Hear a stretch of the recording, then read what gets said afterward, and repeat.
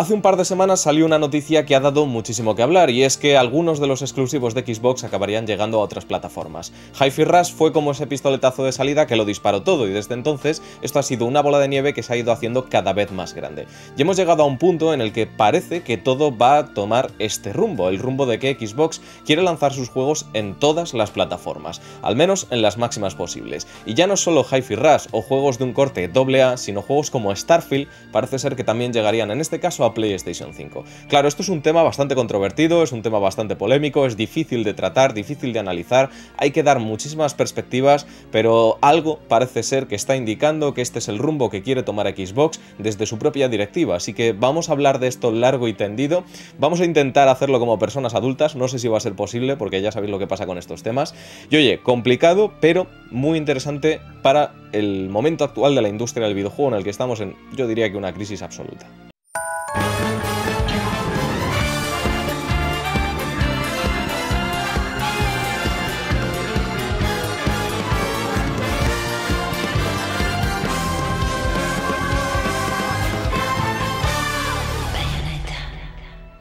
Muy buenas a todos sotaneros, bienvenidos aquí a Puerta al Sótano, bienvenidos a un nuevo vídeo. Y obviamente hay que hablar del elefante en la habitación, no podemos dejar pasar este tema por la tremenda importancia que tiene. No os voy a mentir, no me hace tremenda ilusión ni muchísimo menos hablar de este tema porque sé que inevitablemente va a generar polémica y va a generar conflictos y va a generar que gente se enfade y demás. Ya pasó, hablando de Hi-Fi Rush, que hubo gente que vino a amenazarme, a insultarme por hablar de todo esto, cosa que como ya sabéis ha ido a más, pero bueno, eh, esto es algo que está sucediendo ahora mismo en la industria del videojuego y hasta que Xbox no se manifieste no podemos dar nada por hecho. Creo que esto es algo clave de decir antes de empezar. Xbox todavía no ha confirmado nada de esto, aunque es verdad que parece ser que todo indica que juegos como Hi-Fi Rush pueden ser anunciados incluso en el próximo Nintendo Direct y que sí, hay pistas bastante fuertes de las que os voy a hablar ahora que efectivamente confirmarían que este juego va a llegar tanto a PlayStation como a Nintendo Switch. Y bueno, ya sabéis que cuando esto sucedió hubo gente que se enfadó muchísimo, que le sentó como una patada en el culo y es normal, también quiero hablar de esto, de lo que supone que este movimiento sea real por parte de Xbox, pero también creo que ha llegado un punto en el que la propia Xbox tiene que hablar al respecto, ¿no? Tiene que manifestarse y decir definir de alguna forma cuál va a ser realmente su estrategia para que sus seguidores, sus compradores, clientes, usuarios tengan claro el rumbo que quiere tomar la compañía y ellos puedan tomar decisiones, nosotros podamos tomar decisiones en consecuencia, ¿no? A, al rumbo que quiera tomar la compañía. Veréis, en los últimos días, sobre todo desde ayer, hoy, se está rumoreando muy fuerte, han salido filtraciones con muchísimo peso, de que no solo es Hi-Fi Rush, sino otros grandes títulos de Xbox llegarán a plataformas como PlayStation 5 o Nintendo Switch.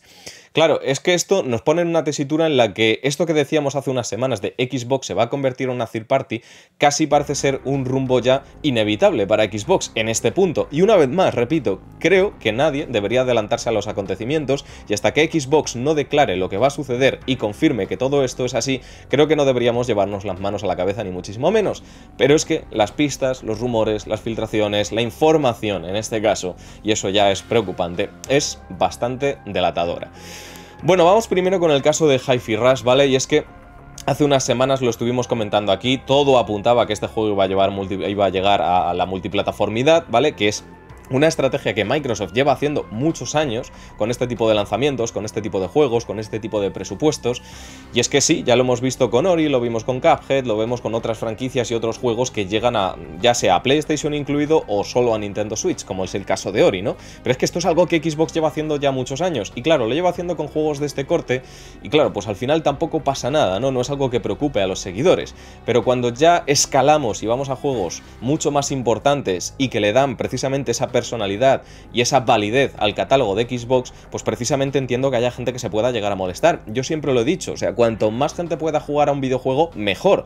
Pero también pienso que un sistema debe mantener una exclusividad para mantener un interés. Si hay una consola que no me está otorgando una serie de exclusivos, el interés en la compra de dicho sistema se desvanece poco a poco. Al final, a mí, por ejemplo, ¿eh?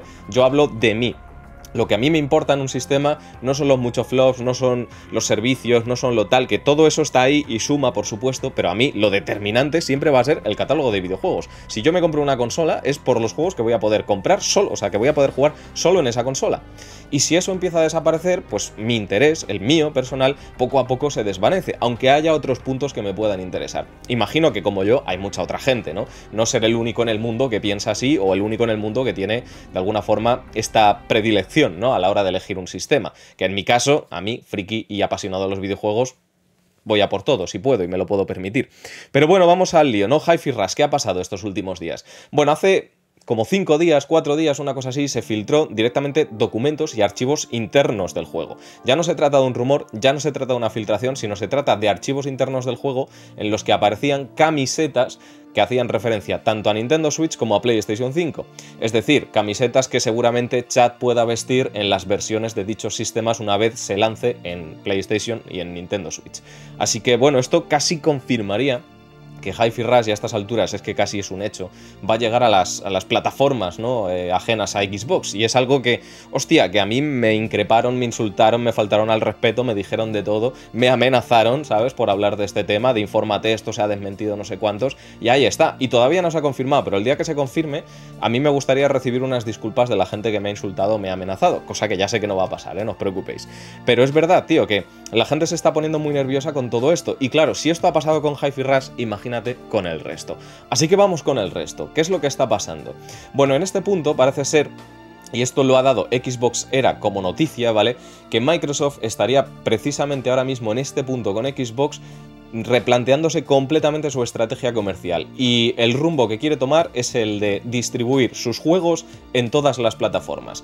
Yo no sé si esto es una derivación del intento de haber llevado Xbox Game Pass a otras plataformas y no haber podido y decir, bueno, pues si no puedo llevar Game Pass, llevo mis juegos, no lo sé, pero está claro que hay títulos de un enorme presupuesto que por lo que sea finalmente no acabarán por tener una rentabilidad solo en Xbox. Esa exclusividad pasa factura a desarrollos y esto ha pasado siempre con juegos exclusivos, siempre ha pasado. Bueno, Xbox estaría buscando precisamente encontrar esa rentabilidad en los proyectos a la, par que, eh, pues de alguna forma lanza estos títulos en otras plataformas para que tengan más rentabilidad, para que tengan un mayor beneficio, ¿no? Más ventas al final. Es decir, esto económicamente, y hay que verlo así, beneficiaría a Xbox.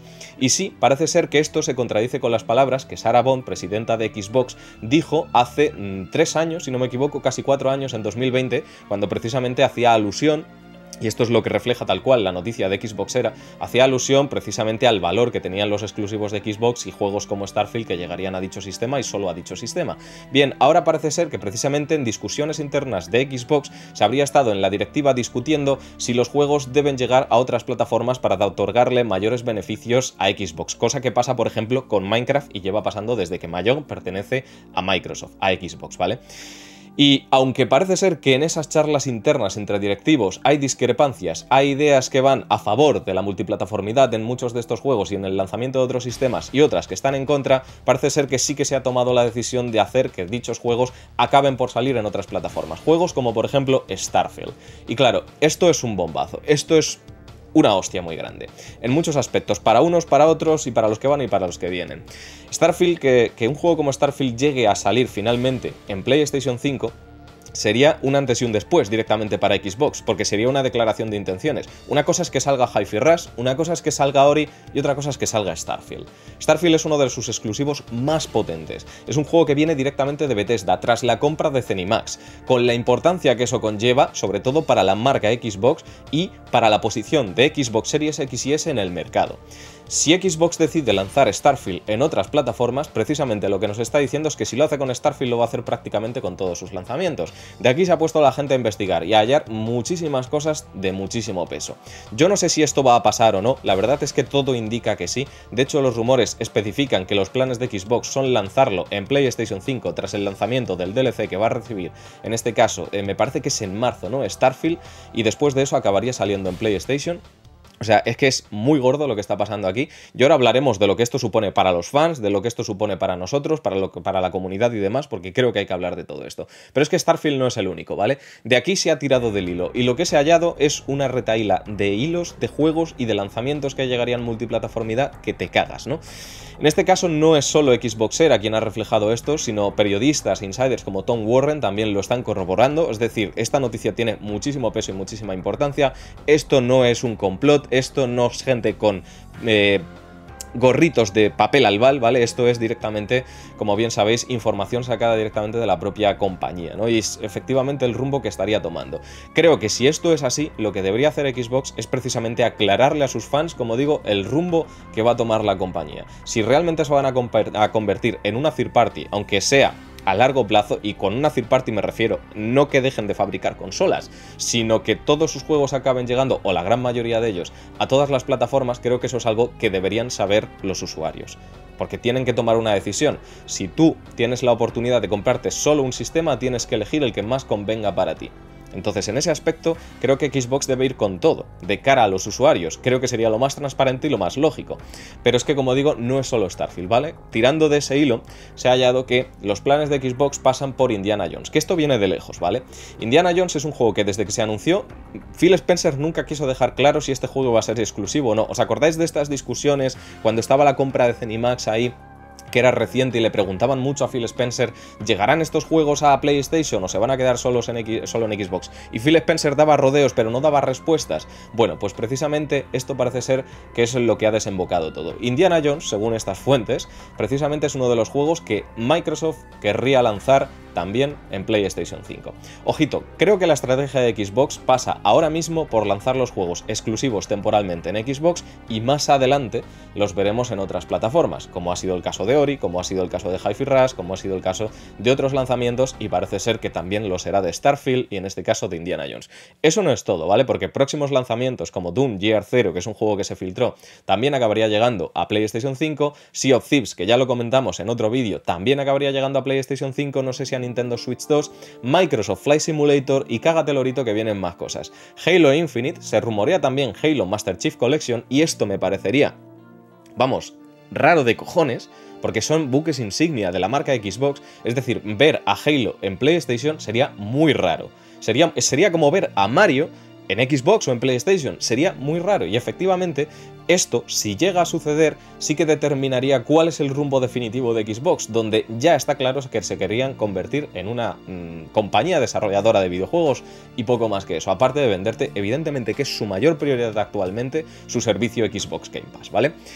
Más, pues Pentiment y Grounded, que llevan rumoreándose bastante tiempo, también llegarían. Y aparte de todo esto, hay otro rumor, que no es un rumor, sino que son palabras directamente de bueno, eh, la gente de Double Fine directamente, ¿no? En este caso preguntaron directamente si Psychonauts 2 llegaría a Nintendo Switch y la respuesta inmediata fue nunca digas nunca, ¿no? Claro, es que, em, que te están dejando claro que el creador de Grounded dijo que le encantaría llevar su juego a Nintendo Switch. Eh, te acaban de decir desde Double Fine que nunca digas nunca y es posible que Psychonauts 2 acabe llegando a Nintendo Switch, que Psychonauts 2 ya es multiplataforma, esto hay que aclararlo, ¿vale? Es un juego que salió multiplataforma porque este juego se financió por Kickstarter para todas las plataformas disponibles que, bueno, PlayStation y Xbox básicamente y PC, y así fue al final, como bien sabéis. Y aparte de esto, también se está hablando de Hellblade. Hellblade 2 no solo llegaría a Xbox de forma temporal exclusiva, sino que acabaría por llegar también más tarde a PlayStation 5. Es decir, lo que ha pasado con lo de Hi-Fi Rush y precisamente las palabras de Sarah Bond y todo lo que está saliendo a la luz últimamente, más el artículo de Xboxera, más las palabras, perdonadme, de Tom Warren, me muero, y de otros periodistas, se está sacando a la luz que efectivamente la estrategia de Xbox es esta. Y que por lo visto Microsoft tendría de alguna forma planeado dar un comunicado oficial para de alguna forma comunicarle a la gente y confirmar que esto va a ser así. Vale, y aquí es donde voy ya con una opinión más personal. Esto es lo que está sucediendo, esto es lo que se está diciendo. Yo no puedo decir ni que esto sea verdad, ni que esto sea mentira, ni esto nada. No puedo confirmarlo. Aquí cada uno, el que se quiera enfadar, que se enfada. El que quiera hacer una foto de su Xbox en la papelera, adelante. O el que quiera hacer una foto de una PlayStation 5 con, de una PlayStation 5 con un truño encima, adelante, que lo haga y demuestre su madurez en las redes sociales como muchos hacen. Pero aquí la cosa es esta, ¿vale? La gente se ha comprado una Xbox. Y la gente que se ha comprado una Xbox, llamadme loco, muchos se lo habrán comprado por el Game Pass, muchos se lo habrán comprado por el mando, muchos se lo habrán comprado porque les gusta el color verde, pero la gran mayoría se ha comprado una Xbox porque sabe que ahí va a poder jugar, va a poder jugar a Hellblade, va a poder jugar a Halo, va a poder jugar a Starfield, va a poder jugar a Indiana Jones, va a poder jugar tal. Es decir, han tomado una decisión entre los diferentes sistemas que hay en el mercado a la hora de comprar un sistema, han elegido uno por una circunstancia. Esa circunstancia son los videojuegos. Si ahora a mitad de generación de repente llegan y te dicen, mira, te compraste esta consola para poder jugar esto, pero es que ahora resulta que estos otros también lo van a poder jugar, mientras que además van a poder jugar sus exclusivos en otra plataforma. Es normal que la gente se enfade, o sea, es que lo entiendo perfectamente, esto es un caso Sega, pero llevado a las, a las, vamos, a la enésima potencia, porque Sega directamente lo que hizo fue dejar de fabricar consolas, Dreamcast pasó a mejor vida, desgraciadamente, aun siendo uno de los mejores sistemas que jamás ha tenido la puta industria del videojuego, y lo que hizo Sega directamente es convertirse en una consola multiplataforma, o sea, en una compañía, perdón, third party multiplataforma. Empezó a dejar de sacar juegos en Dreamcast porque Dreamcast desapareció del mercado, se descontinuó, así como sus lanzamientos, y los lanzamientos de Sega empezaron a repartirse entre las diferentes plataformas. Pero es que Sega pasó a mejor vida, es decir, Dreamcast, como Sega, como fabricante de consolas, pasó a mejor vida. No es el caso de Xbox. Estamos a mitad de generación, la generación está completamente vigente gente. Y claro, que a mitad de generación hagan esto es un movimiento que entiendo que a la gente le va a enturbiar muchísimo. Y esto está relevando una situación en la industria que es preocupante. Ya no solo estamos hablando de infinitos despidos, ya no solo estamos hablando de la insostenibilidad que tiene actualmente la industria del videojuego o de lo arriesgado que es eh, desarrollar juegos de grandes presupuestos que pueden no salir rentables y que pueden llevarte a la puta bancarrota, sino directamente estamos hablando de que una de las principales compañías de la industria del videojuego, estamos hablando de que Xbox, de que Microsoft está intentando tomar una decisión para sacarle más rentabilidad o rentabilidad, si acaso, a muchos de sus proyectos. Porque que Hi-Fi sea rentable jugando, o sea, teniendo 2 millones de jugadores en Game Pass, me lo creo. Pero lo de Starfield es más complicado. Y claro, por ahí pasaría precisamente la mentalidad de Microsoft de decir, pues si lo lanzamos en más plataformas, efectivamente vamos a conseguir una mayor rentabilidad de estos proyectos y vamos a poder financiar otros tantos. Es decir, Microsoft ahora mismo lo que estaría buscando, según todas estas fuentes, es la subsistencia. Claro, es que es, es que es un panorama acojonante el que tenemos por delante. Es un panorama acojonante. Yo sí que lo pienso, de verdad. Cuanta más gente pueda jugar a muchos de estos juegos, mejor. Pero esto también va a hacer que Xbox pierda su identidad. Y tienen que ser consecuentes no con la rentabilidad que le van a sacar a los juegos que están desarrollando ahora o que acaban de desarrollar, sino cómo va a afectar esto al futuro de la compañía. Es decir, y esto lo propongo ya como para la próxima generación. Si ahora mismo realmente Xbox toma este camino, de decir, a partir de ahora, mis juegos van a salir en PlayStation y en Nintendo Switch, aunque sea con unos meses de retraso, es decir, que tengo una exclusividad temporal en mi consola, mientras que en PlayStation y en Xbox, o sea, en PlayStation y en Nintendo Switch llegarán unos meses después. ¿Qué creéis que va a pasar de cara a la próxima generación? De cara a la próxima generación, la gente se va a pensar dos veces si comprarse una Xbox o no, pero es que claro, parece ser que la prioridad de Microsoft no es en absoluto que compres Xbox. Parece que se han querido como rendir en esa lucha, a pesar de tener una consola que es increíble, se quieren rendir en esa, lucha y lo que les importa es venderte Game Pass. Y parece ser que es lo que querría Xbox, venderte Game Pass y, si no es así posible porque no puede llegar a otros sistemas, venderte sus juegos y les da igual dónde quieren venderte sus juegos. Es decir, esa mentalidad es la de una third party. No creo, sinceramente, que Xbox vaya a convertirse absoluta y totalmente en una third party. No me creo que juegos como Halo, como se, está rumoreando aquí, que vienen de diferentes fuentes, no me creo que juegos, como Halo vayan a llegar a, PlayStation o a Nintendo Switch. No me creo, por ejemplo, que juegos como Forza vayan a hacerlo. Me puedo creer que juegos como Starfield puedan llegar a hacerlo precisamente porque es que, es que esto suena demasiado fuerte. No es un rumorcillo, no es que un insider piensa que o ha dicho que. Es que esto suena muy fuerte, es que hay efectivamente mm, una investigación detrás de, directivos, de, de toda la información oficial de Xbox y es que eso suena muy potente. Me puedo creer que Hellblade 2 a la larga acabe por salir en otras plataformas, pero no me creo que Xbox quiera renunciar a su identidad como marca en las franquicias que han definido a la compañía, franquicias como Forza, franquicias como Halo, franquicias como Gears of War, no me creo que esas franquicias vayan a llegar a otras plataformas, al menos no de momento pero se está diciendo, se está, uy, casi tiro el móvil, se está comentando, ¿vale?